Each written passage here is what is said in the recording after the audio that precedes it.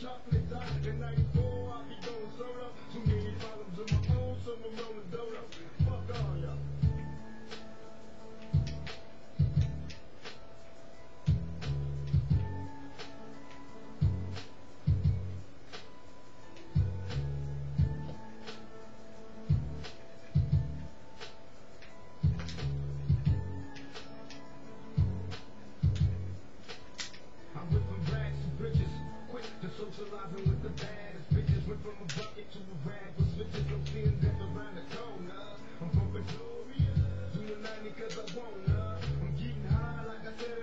Gracias.